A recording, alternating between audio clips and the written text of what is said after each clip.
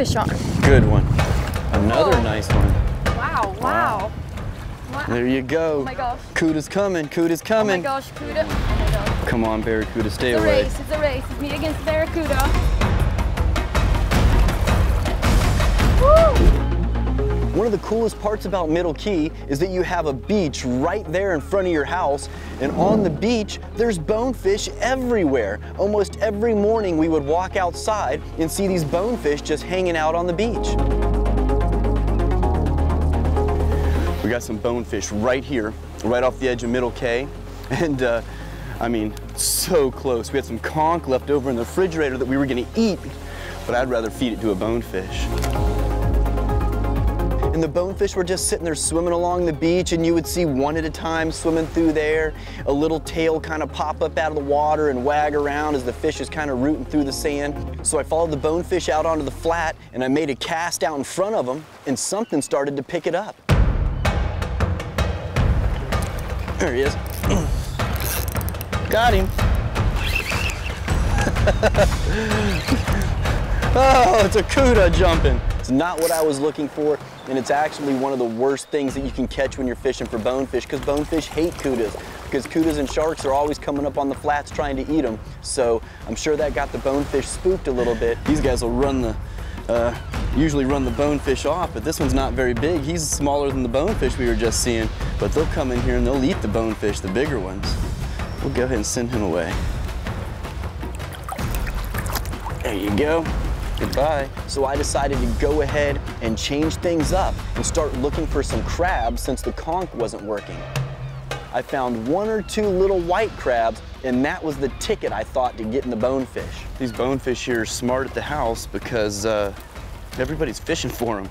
I got this crab that just doesn't want to let go of my hand here. I'll hook him up and see if the bonefish will eat that. I'd rather have them a, about twice that size because these are big bonefish. I mean, these are like eight, 10 pounders rolling through here. And then we saw a bonefish swimming through the water at us. So I flipped my crab way out in front of him, I reeled it back and dropped it right off to the side of him to see if he would see it. And then that bonefish went down and grabbed that crab and started crunching on it. So I reeled down and set the hook and he took off like a light. Fish on. Oh, it's a monster bonefish too. Woo-hoo-hoo! Guys, look at that thing go. Got him. That's what it took. We were trying to get him on the conch and he didn't want to have anything to do with it. I caught one of those little white crabs and he is a mile away. He's down there by those buoys now. Holy cow. That's a monster bonefish. Absolute monster. That's about a 10 pounder right there on that little white crab. He hit that thing about 15 feet in front of me. Doesn't get any better than that. Holy cow. Talk about, oh! Oh, I thought he came off for a minute. He rubbed the ledge. I thought he just broke my line. He's all the way over on the deep side. He's down in this trench by the, uh, by the boat lift. Just trying to keep my line high to keep him off of anything out there that he can cut me off on. There is a lot of mangroves here and mangrove shoots, but we finally got the right one, guys. Wow, what a hit. And he is just ripping it up in here. Seeing a big single bonefish is almost always a lot harder to catch than a school of bonefish because when there's a school of them, there's a little bit of competition there. They're gonna fight the other fish for that crab if there's just one crab walking around the flat. All right, here we go, guys. I'm gonna bring him right up here. Let's see if we can get him landed. Look at that thing. Gosh, right here where we're staying at Middle Cay, guest house is right there, the main house is right there, less than 50 yards away, and you can catch these just absolute monster bonefish right off the beach here. What I got this one on is a crab. It didn't want to have anything to do with the conch, which was surprising. But they're feeding on these little white crabs in here. Found one for bait, caught them, and it worked out. What they're doing in here actually with these crabs in the sand, the crabs will scoot across the sand and they'll dig underneath it. When they dig underneath it, these bonefish get in there and they just start blowing sand and, and uh, water and stuff in and out right there and pushing those crabs out of there and they suck them out, right up out of those holes.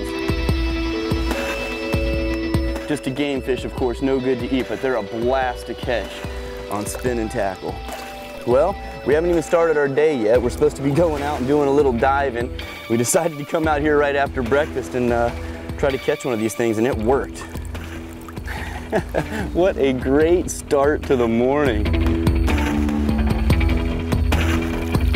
Okay guys, the fish is doing great. He ate that crab like there was no tomorrow. And I'm not gonna keep him out of the water any longer than I need to, so we're gonna go ahead and release him. Just send him right back the way he came from. I'll give you one more look at him before I send him out actually. Gosh, what a trophy. You want a trophy bonefish, this is the place to get him. And there he goes. When we were going for the conchs, all we were really doing was just driving around and looking for a big grass flat with some conch on it. That's pretty much what you do in the Bahamas when you want to find conch. After we found the conch, Luiza got set up and got ready to go in the water.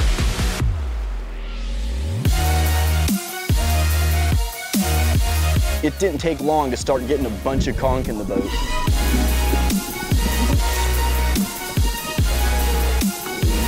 There were conch everywhere. Luiza was going down and sometimes grabbing two and three at a time.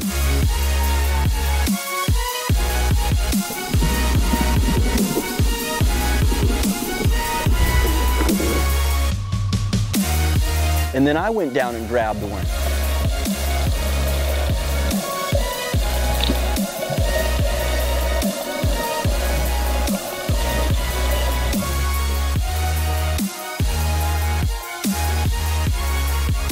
And then I went down and grabbed another one. At one point, I had four or five conchs in my hands all at once. It was a beautiful area. It was probably only between three and five feet of water, so it wasn't hard to dive at all. The conch were abundant. It was very clear. There was no danger of sharks or anything like that. So it was a really nice afternoon dive. We were just trying to get enough conch for us and the crew and the people over at the house there on Middle Cay.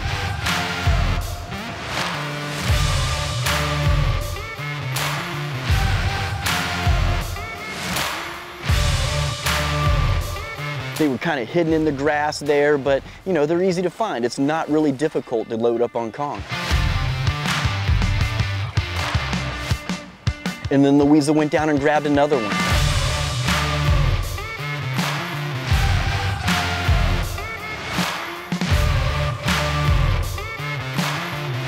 And after we felt that we've had plenty of conch, we went ahead and put them all in the boat and got ready to head back to Middle Cay and clean them up.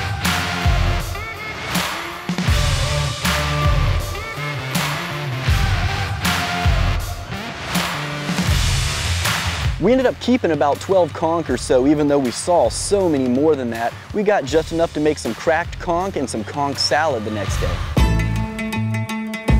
So we ran back out between a couple islands where there was a nice cut, and we started chumming the water, hoping to get some mutton snapper.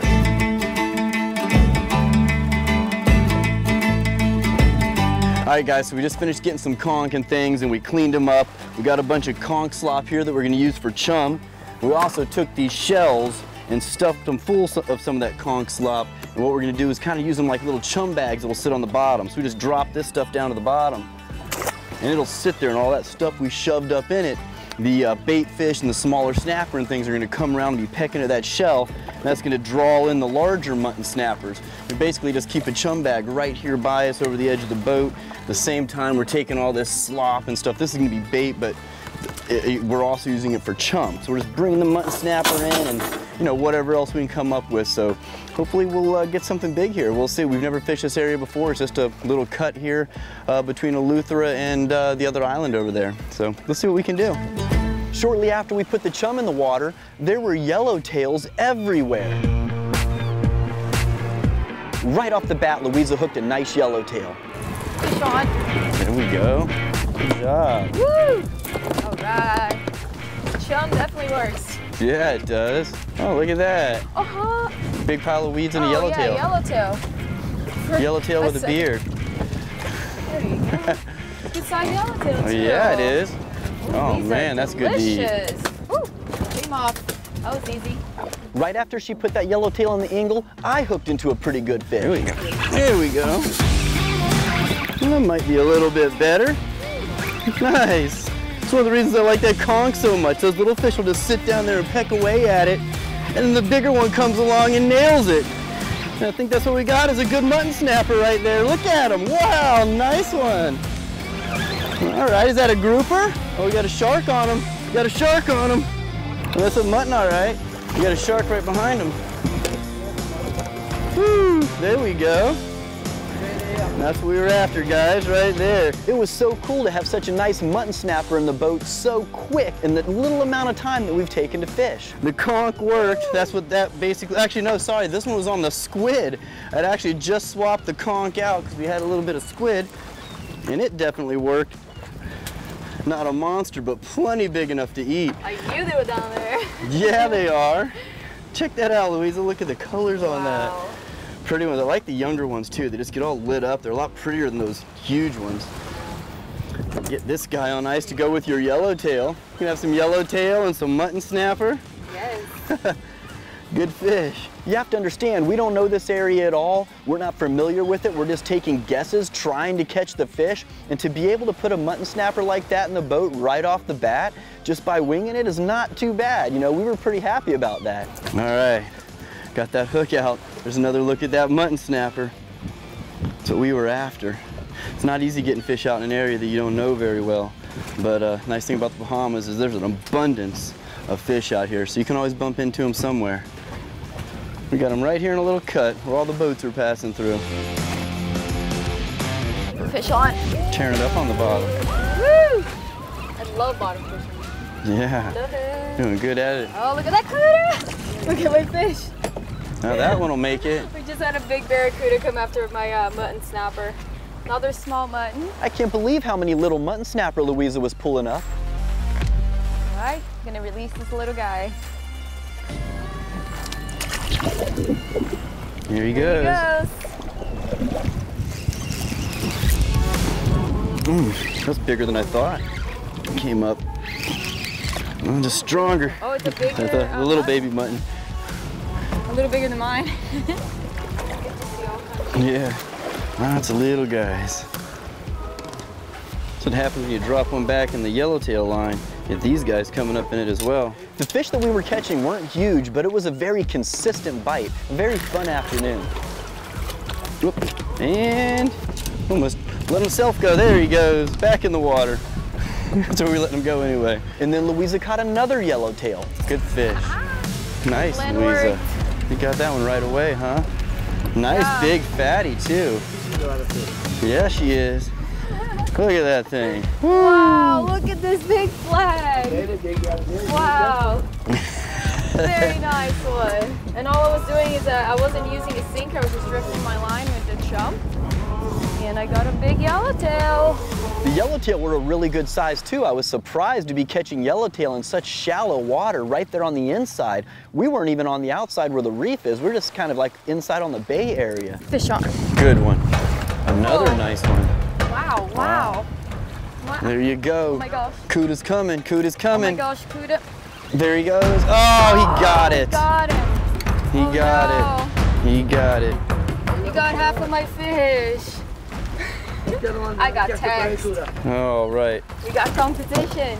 After catching about another half a dozen snapper or so, Luiza hooked into something a little bit bigger. That's a good one. Come on, Barracuda, stay It's a away. race, it's a race. It's me against Barracuda. Woo! It's a big fish. Yep, yep, there it is. Oh, Nassau grouper. grouper. Nice Nassau wow. grouper. Good size one. Beautiful. There you go. Pretty fish. so awesome to see all these, all types of grouper here too. Yeah, it's about as pretty as you get right there. Little baby Nassau grouper. Nice. Put up a good fight. Heck yeah. That was a very nice sized Nassau grouper that Luiza caught. And even though it would have been big enough to keep in the Bahamas, we just didn't think it was big enough on our standards, especially since we had so many fish in the cooler. So we went ahead and let that one go as well. Gonna go ahead and put him back in the water.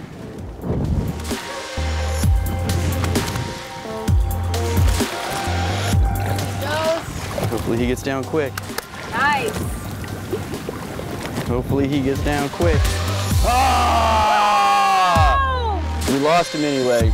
Reef fishing is some of my favorite type of fishing to do because you just never know what you're gonna catch. I mean, we were catching all kinds of stuff. That was also a very pleasant way to spend the afternoon. There's just so many things to do there in Middle Cay. From the lobster to the conch to the mutton snapper fishing to swimming with turtles, just so many different things going on there. And it's been an amazing trip up to this point. Every day has been awesome.